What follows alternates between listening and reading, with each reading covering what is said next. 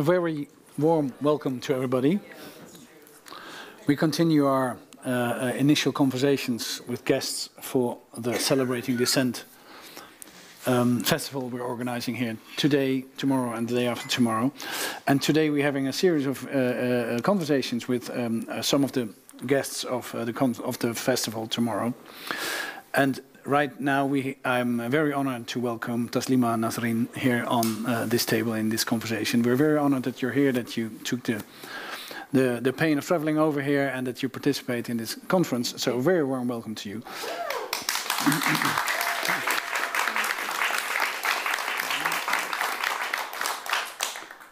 My name is Yoeri Albrecht. I'm director of the Balie, and I'm delighted that we have an hour of conversation on uh, uh, many topics, but on uh, topics of um, emancipation, on um, activism, on literature.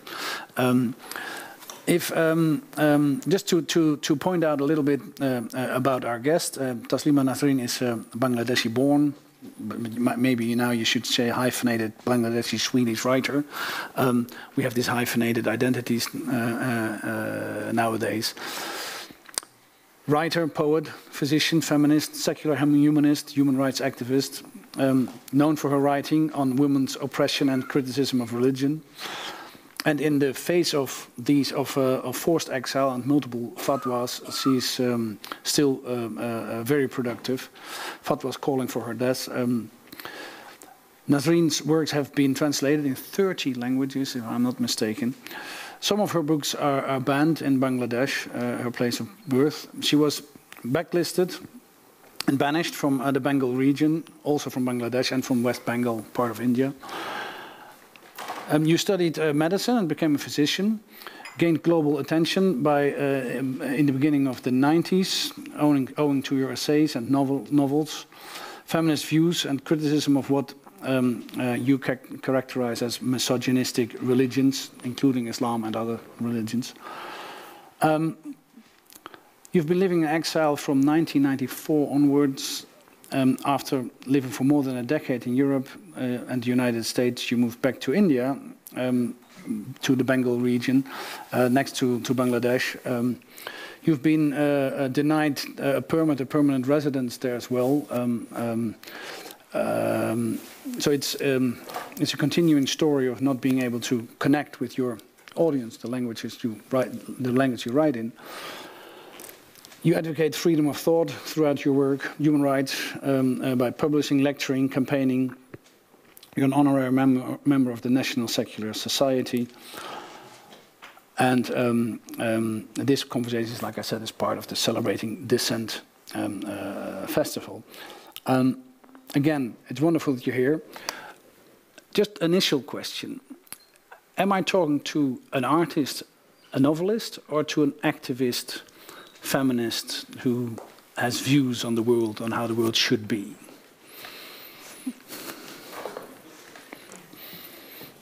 I think I am a writer as well as a human rights defender mm -hmm. and secular humanist. So both. Yeah.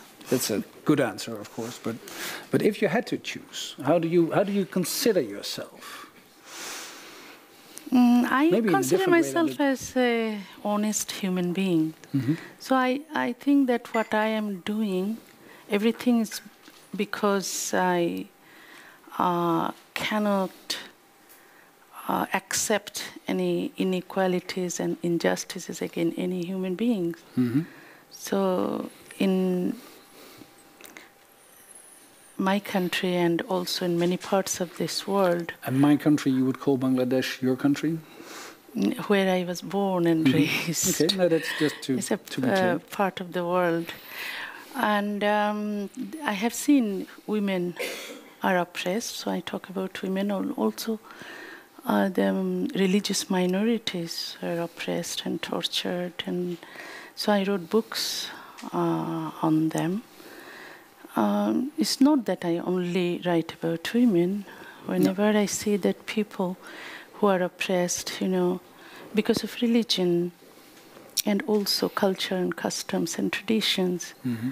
you know, most of the time we see that women are uh, oppressed because of religion, culture, customs, and traditions. And also, You know, human beings, whenever they're oppressed, like Christians are oppressed, and Hindus are oppressed in Pakistan, and Hindus are oppressed in Bangladesh, and uh, also in Myanmar, Muslims are oppressed. So I, I, I defend them. And from your long experience of writing about it, more than 30 years, and, and being an activist, what is more effective in your view?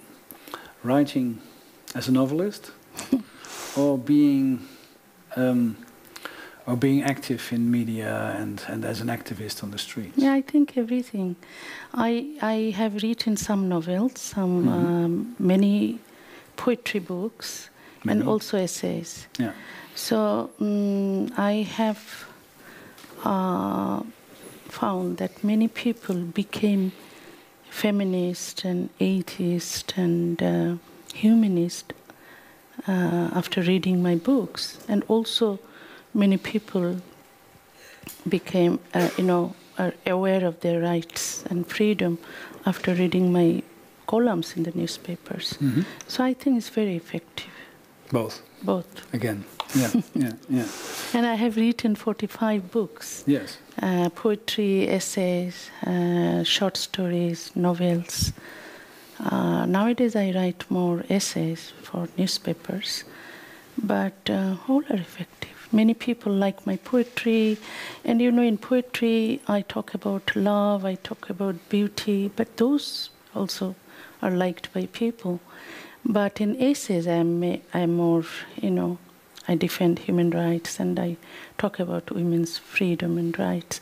But also in my novels, mm, you know, mostly because, you know, in our uh, subcontinent or in South Asia, women um, are not the main characters in the male male writers' novels, because they the heroes are always men male, and females are the you know whoever you know serves men very well, who who uh, are beautiful and follows all the orders of husbands. They are considered very good women, but in my novels, those women are you know brave women who break the societal norms, are the are the main characters Yeah. and they are celebrated. But not many uh, novels are like this. No. Especially not maybe in No. your literature. In, Mostly the novels are written by men, Mhm. and some women writers also follow, you know, their rules. So main characters are male and they are doing brave things, but women are just serving them. So in my novels, nov- my novels are different.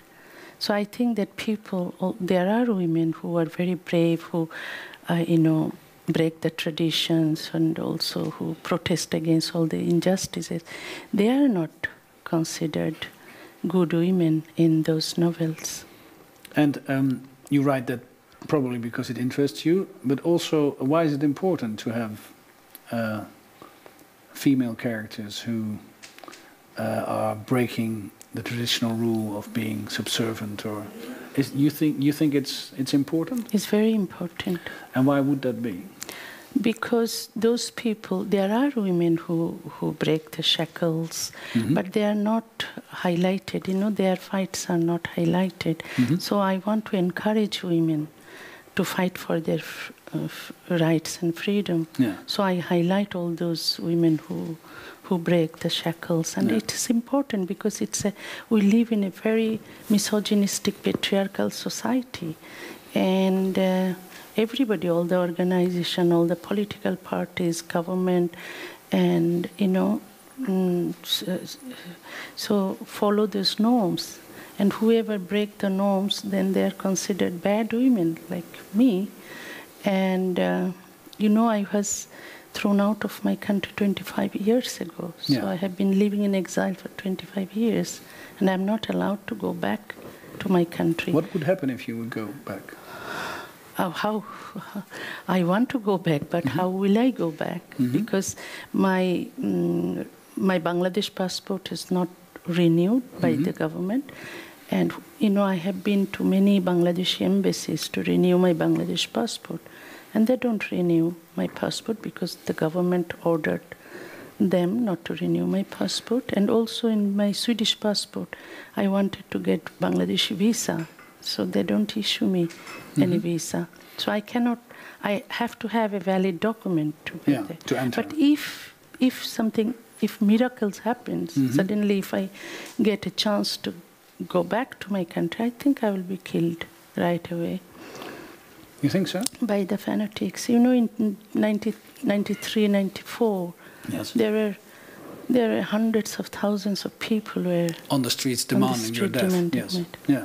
so they are still uh, they're still against me and they still want me to uh, you know want to kill me So, in case you would be issued a passport or a permit to, Yeah. to get in, you're afraid you would be killed immediately. But by whom? by the fan of Islamic Islamic fundamentalists. Mhm. You know, so many atheists. And, you know, they they were young atheists, and they were all my kind of. Uh, they loved my writings, and they Your became. yeah. They were inspired by me. Mhm. They became atheists, Yes. and they were hacked to death in Bangladesh. You know, so many atheists were killed by fanatics, by Yeah. terrorists. I'm aware of that, though you hardly see anything of that in the Western press, but I'm aware of that. Um, may I ask you another question about that? Because you write your work and you do your work to inspire people eh, to have a, a life which you think is important to, to lead. And then people who follow your lead are being hacked to death. yeah. What does that, excuse the question, but what does that do to you? Because would you say that, um, do you feel responsible for them or do No, you no. feel, I mean, how, how does that work for, I mean, how does that influence you? No, I was re- really very sad, and I criticized the government for not protecting them. Yes, I've, you I've know, seen that. after after uh, first man was hacked to death, and I asked, uh, you know, I can I cannot contact the government because No, you of know. course not, So, no. but in my writings, Mhm. I always I asked government to protect other atheist, other atheists, you know, uh, you know, other atheist writers, and also in the European Parliament and many platform I used, you know, to so that the government can protect them, or at least they can leave the country for Mhm. their safety. So some of them left the country, Yeah. but some of them were killed. It must be very difficult for a writer not to be in contact with your audience and the language you write in.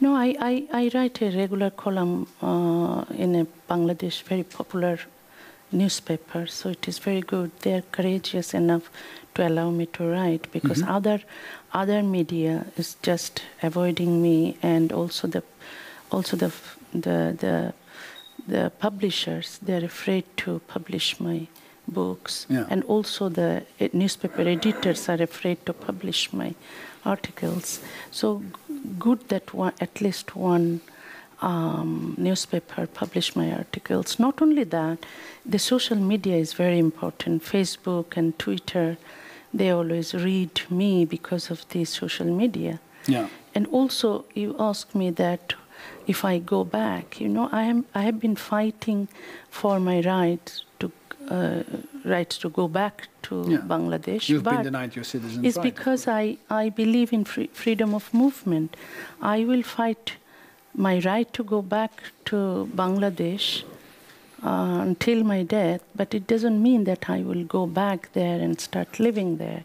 But I think that everybody should have the right to move uh, wherever they like to move, and everybody has the right to, to settle wherever they like to settle. So that I will fight for that. And also, I want Bangladesh to um, to respect, uh, you know, freedom of expression Yeah. because they they they uh, claim that they're democracy, but it's the it's a very important pillar of democracy is freedom of expression. It's same as India. India doesn't allow freedom of expression in many cases, uh, but it's called very proudly that it's a democracy. Yeah. They say So- it's the biggest democracy Yeah. in the world. You know, they mean that voting thing is democracy, but it's not the only thing. No, rule of law is part of that. of yeah, course. there's no equality between men and women. It's a very misogynistic society, and Muslim women have been suffering because they have they they have to follow the Sharia law, or you know they have they are the marriage, divorce, child custody, and inheritance are based on religion in in India, and in you know it's a very funny thing that um, we call it many people call it secular state, but you know uh, that Muslim women uh, do not get equality in marriage, divorce, child custody, and inheritance. Whenever, whenever we fight for uniform civil code, of, you know, based on equality, Mhm. then we are, you know, blamed as the as the Hindu fanatics because Hindu fanatics want uniform civil code in India. And but we atheists and humanists, when we want Muslim women's human rights, then even the progressive people, the leftist progressive in India, do not like that. They want mm, Muslim people have their religious laws because by this way they support minority. Actually, it is against them because they believe in women's, uh, Hindu women's equal rights, Christians women equal rights, but not Muslims, Muslim women's equal rights.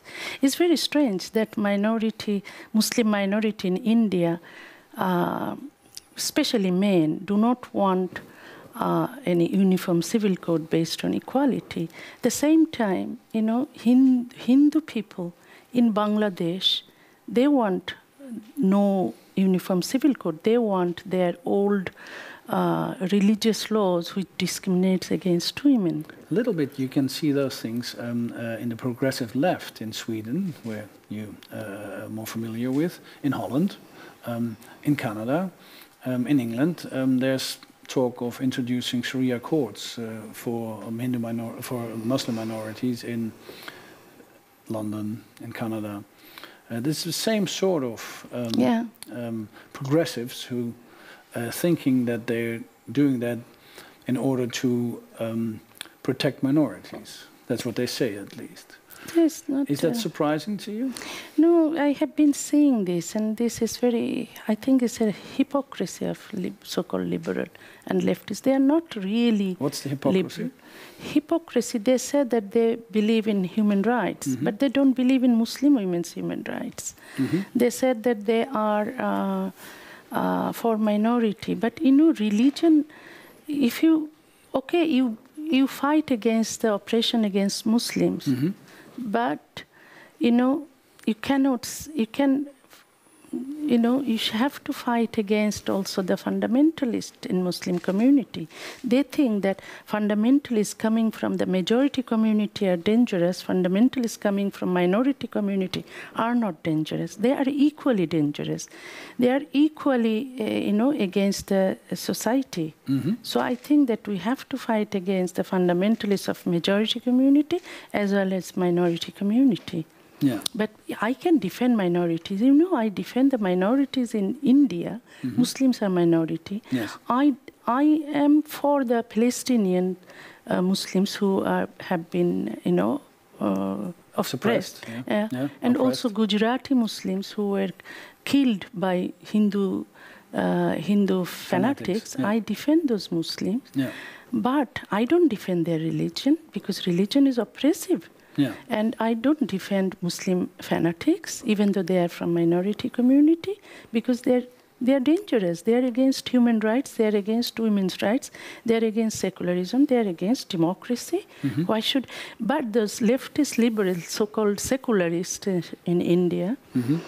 defend the defend Islam because it is minority people's religion, defend Muslim fanatics because it's a minority minority communities uh, fanatics. Uh, But this is hypocrisy. Yeah. You said that you believe in human rights, but you don't believe in their human rights. No, no, no, no. Um, you have been threatened by ten thousands of people on the streets demanding your death. Um, you have been in real, real great danger eh, in those times. Hyderabad. Um, No, no, not 10,000. It was 100, 100,000. uh, yeah. uh, 400,000 in one meeting. Uh, 400,000. Yeah, Were 10,000 people who who uh, took to the street with uh, with this poisonous snakes. Yeah, they said they would release poisonous snakes. Yeah, if I to- if I don't get killed by the government. Yeah, yeah, if I don't get uh, you know uh, execution by executed hanging. by the government. Yeah, they would make sure that uh, thousands of snakes would get you, poisonous snakes. Yes, um, and there were masses. I mean, um, uh, I wasn't aware of 400,000, but I mean, I've seen Yeah. the, the, the, the photographs of it. And the, Mm.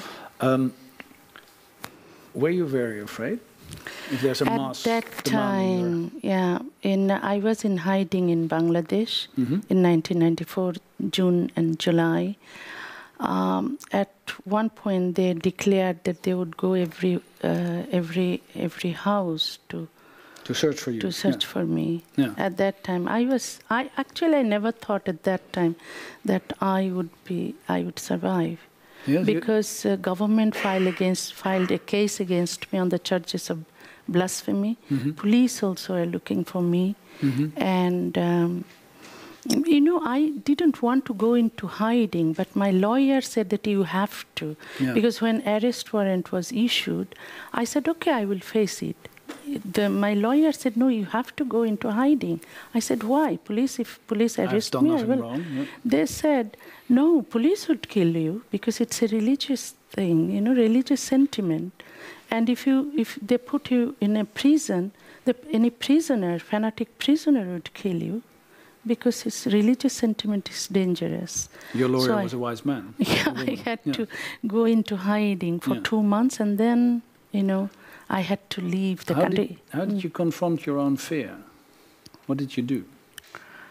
Um, no, I wrote. You wrote. I wrote. I wrote poems. Does it help? Mm, it did. I had no other alternative. hmm I thought that um uh, the progressive people who were my friends, Yeah. um, that writers and intellectuals would stand by me, but Yeah. they were all silent. No, that's even worse. Uh, yeah? I was really scared that why were they silent? And then when the government said, and then all the embassies actually tried to save my life, and they talked to the government, and the Embassies government, of foreign countries. uh, Yeah, the foreign countries, um, and uh, the government um, agreed to do. Actually, government wanted me to leave the country. So it would be so a it was, solution for uh, them. yeah, yeah. Yeah. But So- again, again, um, um, um, um, how did you manage to to manage your fear by writing or by or is it? I, I did. I was in a. I was in different houses. You Mhm. know, at uh, midnight they put me. Uh, you know, on the back seat of the of a car, Yeah. and they put lots of uh, Clothes and- yeah. clothes uh, on that over me, and then they drove from one place to another because it was not safe to stay in one place. You know, sometimes I was there are many people in the house, but I was in their storage, and nobody except one person knew that I was there. Sometimes I didn't get any food. If that person could get any chance to put food uh, in under the uh, s- the door, door, yeah, yeah. Sometimes I didn't. I was not allowed to take a shower. I didn't allow. I was not allowed to make any sound. Nothing. I was like a dead body lying there. You know. Um, And it's because, Because- the things you write, because the things you believe. yeah. Yeah. And I, they, they moved from one place to another, and also I had to stay in those places like, uh, like a you know dead one, in one room that nobody should know. And because if if the fanatics knew that I was there, then they would kill also the hosts who gave me shelter. So it was very dangerous. And at one point, the people who were actually uh, helping me from uh, move, helping me move to, from one place to another, they didn't get any more shelter house because everybody was afraid to, to give me shelter because the country was paralyzed by the fanatics because they were campaigning and they were, you know, having general strike. Only they were putting, you know, because of me, they're putting pressure on the government to, to, to execute me by hanging. So the demand was so strong. So also my supporters were silent. So it was really very dangerous situation. Does it still affect you? That is a kind of nightmare. Mm-hmm. You know, I still imagine. when I yeah. think when I when I think of that, is mm-hmm. you know, I feel kind of you know. I'm sorry to ask you about it, but no, no, it's but it's okay. To it's okay. realize what. Yeah, what then I I wrote about those uh, yeah. what happened in my in my memoir. So yeah. I have written few books of my memoir. So it is so for the, you know description of two months. Actually, it was a big book because it was so many so many things happened that time. You faxed, um, I'm in grave danger. Fundamentalists are demanding my death. They have declared prize money for my head again. Situation is dangerous now. They could kill me at any moment. Please save me. You faxed that text literally to Amnesty It was they actually, uh, the human rights and feminist organization outside Bangladesh actually asked me to write this kind of thing so that it would be uh, easier for them to, to, to ask their government to save my life. And Amnesty did a action for you and uh, I think there are many, many uh, organizations, not bang in Bangladesh, outside Bangladesh. There many, many organizations actually, writers organizations. Yeah, PEN, and PEN International. Did PEN International, yeah. and Salman Rushdie wrote an open letter. And there are many, not only Salman Rushdie, there are many writers, European writers actually wrote open yes. letters. Yeah. Uh, and those actually helped. Yeah. But it didn't help to helped me to go back to my country. Not only in Bangladesh, same things happened in West Bengal, in India. In, Hyder- West Bengal. in Hyderabad in 2004 again. Uh, in 2007, they attacked Seven, me, yeah. and then I actually I, mo- I left Europe in 2004, and I moved to uh, Calcutta uh, there because we, it's a Bengali environment. What it's, I wanted to, yes, because I'm Bengali writer, so I wanted to live in Bengali environment and Bengali language. I wanted to, you know, hear Bengali language. I wanted to speak Bengali language.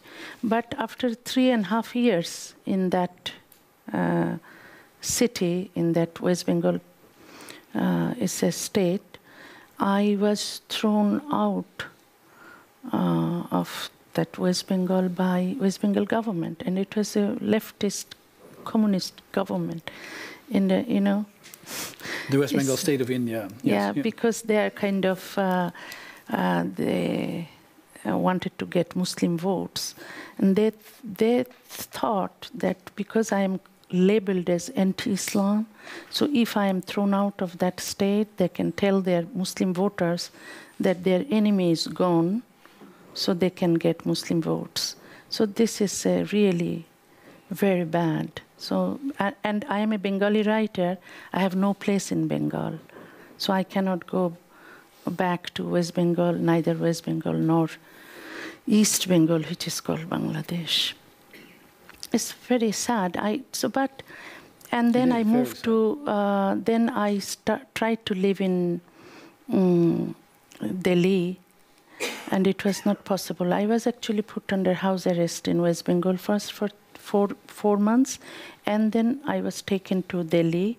There also I was uh, I was uh, kept under house arrest for few months, and then I found that I was really, uh, you know, I wanted to get. Uh, I wanted to see a doctor because my my blood pressure was very high. The government of India said, no, I shouldn't uh, be allowed to see any doctor. And then it was really very bad situation. And then um, the government, you know, brought took me to some doctors and they gave me some medicine. After having this medicine, I was fainted and I was uh, taken to uh, hospital emergency, and it was I was in ICU, and it was I was really in bad condition. I was almost dying. Then they gave me lots of life-saving steroids, and it was the government decision because I was. They asked me to leave the country, and because I was not leaving, they tried to harm me physically, and then. Then uh, I had to leave to save my life. So even the democratic country, the largest democracy, can can decide to kill you if you do not listen to them. Yeah, or if it's. But uh, still, you can ask me why do I choose India to live? yeah. It's a challenge for me. So they have to believe in freedom of expression. And you're moving, but you, for you as a writer, I suppose it's important to be in contact with the language and the places where your books are Yeah. read. In, and also, it is very important. yeah, Yeah. I could think that, okay, I should save my life and live in, in Europe or America. I am also permanent resident of United States of America. hmm I have green card, yes, but, but, but I don't live in America or Europe, you choose to live there, be, mm, where I have lots the, of problems. of all the problems. Yeah, problems and f- actually fatwas are, were issued in Bangladesh, but more fatwas are issued against me in India. Yes, in Bangladesh it was three fatwas, and in India it was five by religious men. by religious fanatics, Yeah. the, the mufti and the imams. And those imams and muftis were very good friends of all political parties. hmm And it's always men, of course, who issue. Of course, fatwas. always men. Yeah, yeah, yeah. And Women have no power, so they didn't start yet to issue fatwa. by the time they have power, they will. But they do, like Hasina in Bangladesh. Yeah, They, she has power. yeah, Her fatwa is that not to allow Taslima in the country. yeah, So it's a kind of fatwa. yeah. It's very. I think that they are the governments are more powerful than the mullahs. Mullahs have no power, but they can kill. They Yeah. have they have their uh, Fanatics. uh, the, Yeah. the the the uh, the weapon. Yeah, There, those those weapons are not very modern, but government's weapons are very modern weapons. yeah, yeah. And um, um, turn a little bit to the West um, uh, out of your experiences, because, for instance, an organization like Amnesty asked, uh, pleaded for you when you were in danger there, but now here recently, Amnesty made a big point out of defending the niqab. to be able to wear the niqab. How, how do you look upon that? Amnesty is always like that. It's nothing new. Uh, Amnesty uh, doesn't say that they have to fight against religion. No. They they try to respect religion. They even fight for the um, the the Islamists. If Yeah. Islamists are in the are you know in the and the prisoner, yeah, you know. So How do, how do you look upon that? so I, I don't. I, actually, we shouldn't expect from Amnesty any uh, any great uh, revolutionary things. Amnesty is just for for helping people who are suffering. It's like a Christian missionary work. You know, the Christian missionaries they help everyone, Yeah. whoever uh, you know, fanatics, killers. They don't care. No, they help you know. everybody. Yeah, this Amnesty International is like this. Is that a good thing or a bad thing? Uh, you know, there are other organizations. You know, when atheists in Bangladesh were hacked to death, Mm-hmm. there are many organizations in the West who saved their life. Yeah. I think we should count them. Yeah. They're really great. And most of many organizations are actually atheist and secular organizations who help atheists, you know, who give shelter, uh, uh, you know, f- to atheists. Yeah. Who they came out from the from that country, and they're now living in living in Germany, in England, in America, in Canada. There are many many countries, and Amnesty International didn't help them. No. Human Rights Watch, maybe, I don't know how much help they did, but mostly the atheist organization did. But, you know, the people who are in danger, they are atheists or, you know, if not, if they are not atheists. And um, why Amnesty International and other organizations, human rights organizations, shouldn't help them? We see that when people are atheists, it's only that atheist organization extend their arm to help them. Not many other organizations are very interested in helping them. So they're more on their own than other minorities, you would say, in, in many parts of the world. Hmm. Yeah, yeah. And uh, another example, just recent, um, we, uh, uh, today, um, you've been um, uh, in many circumstances being protected by uh, uh, bodyguards or police in order to uh, to be able to move around. How do you look upon um, uh, Zineb El Rhazoui, who is not being able to travel through Europe? Yeah, it's very sad that she couldn't travel. You know, I met her. I, I after that attack of uh, Charlie Hebdo office, I visited that office very secretly. You know, the policeman came uh, on the bike and they took me to the office of Charlie Hebdo. Uh, it was really, they are really protected, and it's a big iron gate in front of them. So I don't think the people nearby knew that it was uh, Charlie Hebdo's office. I met her and m- I met many people there. And um, I heard that she came before here. Yes, she did. So yeah. she could, she could have come. I don't think, you know, I have police security in India. I didn't ask for security in, uh, in Amsterdam. Mhm. So I know that, you know, it will be safe. So I, I will yeah. not, I will not go to Delhi without police security. I know that I need security there. Mhm. But I know that I don't need security here because, uh, you know, people are not here, that not many people know about me here. Yeah. If I am here, you know, they will not notice and they will not come to kill me. No. But, you know, I cannot say that nobody, uh, the assassin is not waiting there about Zineb. I, about me, I can, I just feel that I would be safe. Maybe she doesn't feel safe, so I cannot uh, say on behalf of her that she will be safe. No. If she comes, maybe she will be killed. Who knows? So I think that it is totally her uh, decision. But if she could come here, I would be really happy to talk to her. Yeah. It is happy to because whenever I think of what happened to Charlie Hebdo, really it's a nightmare. So I cannot just imagine. Uh, it's really, really bad. But hope that one day um, people would be free. I like to see this beautiful world no, where nobody will be oppressed and nobody will be threatened. And uh, if we if we fear these fundamentalists, how long would you uh, be this afraid? And it's life is not wonderful if we always are scared. But hope that um, Zineb will be will be able to move freely. And um, um, you have been very outspoken in some of your essays and some of your um, uh, books.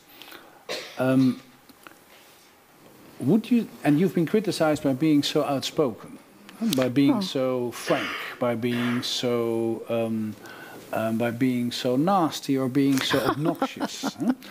And um, by, for instance, stating that you uh, an atheist or by uh, the other uh, other other uh, uh, things you said. If you if you look at that sort of criticism, would you say that with hindsight you've been sometimes too harsh or too rash, or that your um, that your um, critics critics are maybe with hindsight now you have been writing for decades were right, or that you were too outspoken, or No, I think that I have the right to write whatever I like to Mhm. write, and uh, some for some people it's good, and some people it's too much. You know, so it's uh, different opinions. sure, But you know, if I write, if I criticize against other religions, it's okay. But Mhm. if whenever the problem starts when I um, critical of Islam, hmm so you know, Islam should not be exempted from the critical scrutiny that applied to other religions. hmm And I think that Islam should uh, go through the enlightenment process that are, that other religions have gone through Yeah. by questioning the inhuman uh, unscientific and unequal and uh, aspe- aspects of religion.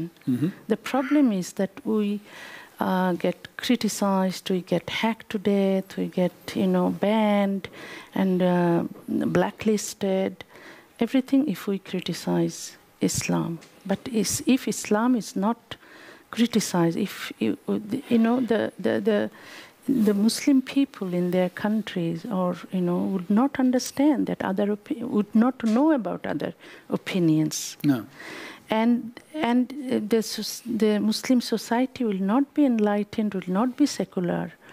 So to to to uh, you know separate religion and state and to secularize society, to secularize people, you need need to you know criticize the religion and all the anti-women tradition and culture. Otherwise, it will be status quo. Um, I understand. I mean, you have the perfect right for that. Um, um, it, um, uh, uh, I understand your point of view, of course, about things won't change if I don't write it out, if I don't criticize. But on a personal level, if you look at, back at your uh, biography and you think, "Ah, maybe I shouldn't have written that book or that moment, or I could have lived there, or, or I'm just curious about whether there's, on a personal level, regret that maybe I should have shut up or I should have not published this or. No, never. Sometimes. Uh,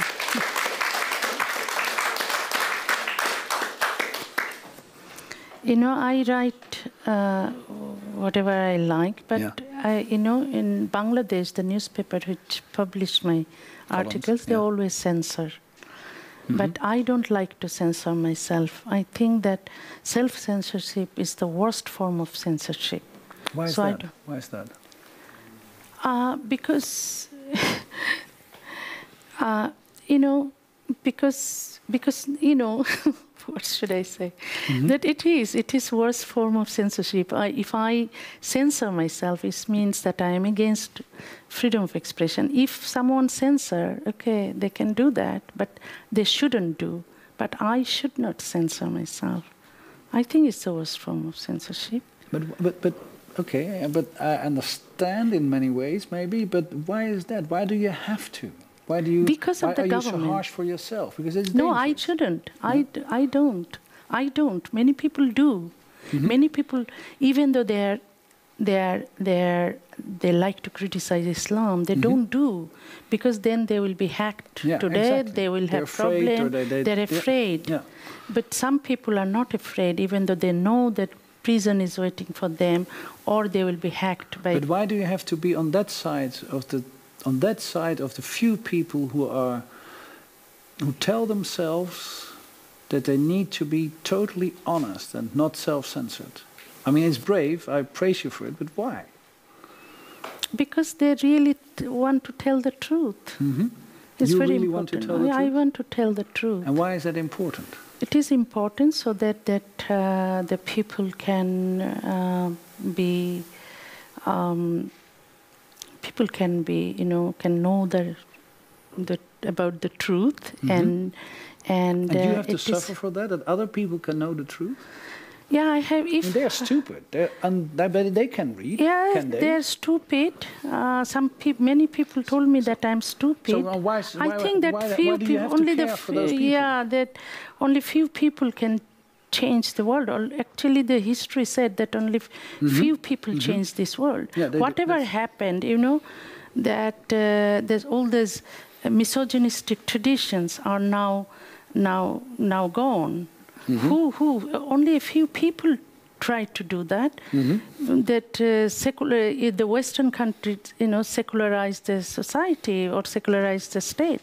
Not majority people actually uh, demanded for it, or majority No. people didn't didn't ask for it. It was only few But people. why few do you people have to, to, to, to, to shoulder the burden? Yeah, I like to do it. I think that it is important. I think that uh, it is important. Also, I have seen that many people realize that that this Islamic society should be uh, reformed or changed, or mm-hmm. there should be revolution in mm-hmm. Islamic mm-hmm. society. And also, women have been suffering. Not many women are talking about this. They also, you know, women are treated as childbearing machines or, or slaves of men or, Sure. Or sexual objects. And it's going on. And men and women who believe in patriarchy accept these uh, notions. And Yes. then that, but there should be some women, there should be people, you know, who said, no, we shouldn't accept this patriarchal system or this misogynistic system. But you know, women also do not do not fight against it because then if they fight, they see what happened to me. They have to, you know, they have to be, they will be hated by uh, men and women both, and they will be killed or they will be tortured or they will be in prison or they will be thrown out of their country. So nobody, no, no men or no women want to suffer. No. But some people maybe don't mind to suffer, and I'm proud to be one of them. Okay.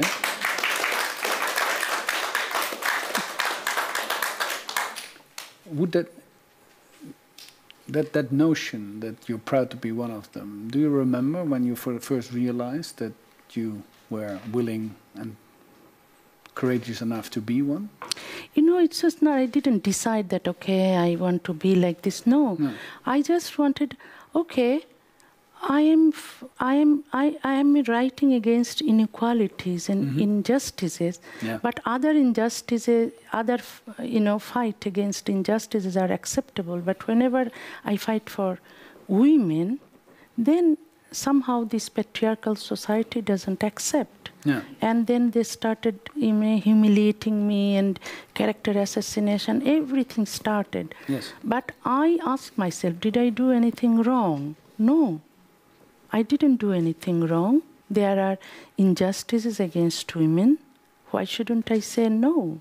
So I said no. I found, you know, I realized that it was, you know, the truth that I'm saying, and also that all the, you know, I became actually I was never a religious person, and uh, when I was very young, I read the Quran and I found that injustices and inequalities in the Quran, and I thought that I should say it because it is written in Arabic and nobody knows the, what is written there because And the you were people. able to read it. Yeah. Uh, uh, no, I didn't. Uh, I read the Bengali Bengali translation translation. Yeah. because Quran should not be uh, read in other languages. It should be read in Arabic. In original so language, yeah. most of the most of the people in uh, in uh, in Muslim people are not Arabic, so they do not know what is written in the Quran. They just believe. Whoever, whatever you know, mullah says that is written in the Quran and Hadith, they just believe. So anyway, so I thought that uh, in the beginning, when I was very young, that uh, Quran is maybe is uh, uh, you know is good about women. But when I found, I was really shocked, and then I started writing about it. Um, you know, I said my mother. My mother was a religious person, but my father was not. Your father was a doctor, huh? And my doctor, father is a doctor, and uh, a he was an atheist, I think. He never said that he was an atheist, but he never prayed. Uh, you know, whenever my father, my mother forced me to pray, you know, my father said, "No, come and go to study," and like this. And uh, I was eight years old. I tell you the funny, uh, it's an interesting Please. story. Yeah, please. Mm, um, my mother uh, became religious, and she was not religious uh, in the beginning, and she Originally, became yeah. religious because she was influenced by some women who told her to be religious because she was not happy. Uh, mm, at In home life, in at home, life yeah, so m- some people advise her if she will be happy and she will have to forget every, Uh, everything and she has to dedicate herself to the to Islam mm-hmm. and then she will be happy then actually she tried but anyway she forced me to pray and to read the Quran. So I, when I was reading the Quran, I didn't understand anything. So I asked my mother, "What is the meaning of the verses that I read?" And she said, "You don't need to know the meaning of the verses. You just read in Arabic, then Allah will be happy." And I asked my mother that you said that uh, Allah knows everything. So Allah doesn't know Bengali. If I pray, if I pray, if I pray in uh, Bengali, I wanted to pray in Bengali. So she said no. Then I asked her that you said Allah knows everything. Doesn't Allah know Bengali? But anyways, she said that if any, if you say anything bad about Allah, your tongue will fall off. Yeah. So I never knew, I didn't know that somebody's tongue could fall off, you know. So I was very curious. Was new for you. Yeah, I went to bath to the bathroom and I, I locked the bathroom door and I said, Allah is a son of a bitch. Allah is a son of a dog. All the all the slangs that we use in Bengali language. And I I was I waited and I waited and I thought that my tongue will fall off. And it was one minute past five minutes and ten minutes. My tongue didn't fall off. So that I tried. And then I, You were eight years old? huh? You were- I was eight years old. And, um, and I was a student of science, so I knew about uh, all these, uh, you know, gravitation and all these, the, the solar system and everything. But the Quran says that sun is moving uh, uh, around the earth, and all this, all this, all this lies, you know. So how could a student of science can believe in uh, the Quran? It's uh, totally anti-science, and also anti-women, anti-human rights, anti-humanism, and but still people are believing, uh, using everything of science, but believing this anti-science book. So it is not a holy book, of course. It is not. Uh, it is written by a man, a man of he, for his interest. But I wonder that so many people, the rational people, are there, so they know what to do. You know, in what situation, but they believe in those uh, in this in this tr- those books as holy. So it's and they're killing people for it. You know, in Dhaka Cafe, that so many young people, they're rich, they're educated, they, you know, if you believe, if you think that the terrorists, Islamic terrorists, come from the poor, poor families, no. Now things have changed. You know they uh, they come from the very rich family, educated family. They go to uh, universities and they study they study all these you know science and they become Islamic terrorists. They become they are doctors. You know the Al Qaeda. This uh, Osama bin Laden. He was an uh, engineer, but they became Islamic terrorists. You know. So it's This- not the poor, it's the, it's no, it's no. the They, they believe well. that the- in Dhaka Cafe, where they slaughtered so many foreigners, so many people, and they are, they were, they were so happy that they will be killed, the, because police would come and they will, police will kill them. They know it. They say, okay, we will meet. Uh, in, in the afterlife. They really believe there is an afterlife, and they really believe what Islam says that they will, uh, they will have sex with so many virgins, and they really believe it. And it's a brainwashed people, but how long those young people will be How do you- continue to be brainwashed? If you describe this to us, um, it's rich people, it's educated people, it's uh, people who really believe that there will be uh, given uh, 72 virgins. 72 virgins in the afterlife. How do you look upon the, the future, up, up, up- upon the next decade? Or the, is it going to get worse? Aren't you I, more, uh, more afraid, or are you thinking that there is. I light? have no idea, but I can tell you one thing. Mhm. In 60s, I haven't seen uh, young people go to mosques. In our area where I lived, where I was, uh, you know, Raised? raised Yeah. in in big area there is one mosque. Only my grandma grandfather used to go uh, to meet other other old friends of him. You know, only the old people used to go. Now, in that area, there are hundreds of mosques, and young people go there, and the roads are blocked when they pray uh, in those mosques. And uh, I haven't seen any of my school friends or college friends or medical college friends uh, that uh, wearing hijab. Yeah. Now, I think 70% women are wearing hijabs. In the So- neighborhood where you were raised? In, Mm, in- yeah, in no, Bang- in whole country. Ah. So, no- my, my classmates, not only my classmates, in whole country, those people are wearing hijab, and mus- uh, the So- men are so wearing. it's not getting any better. No, not getting better. It's No. worse because Islamization started in 80s, and I think that it is the situation of uh, all the Muslim countries.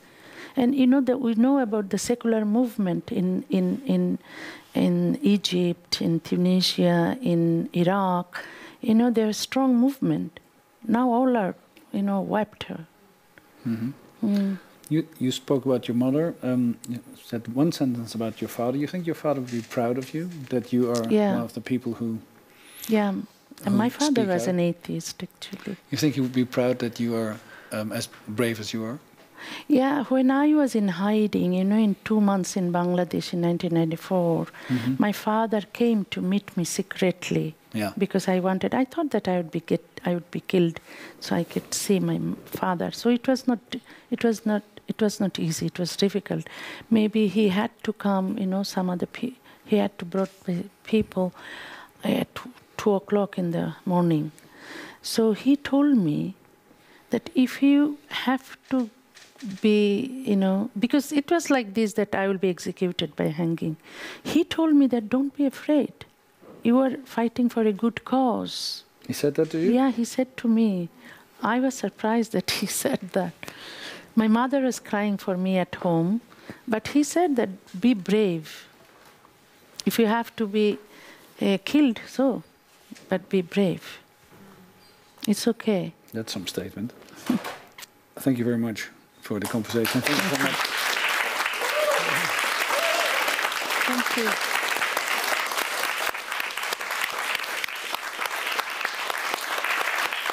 Thank you, thank you, thank you. Taslima Nasrin. And in half an hour, we have a conversation uh, with Inna Shevchenko uh, here in this room again. Thank you very, very much Thank for you. being here and for doing what you do.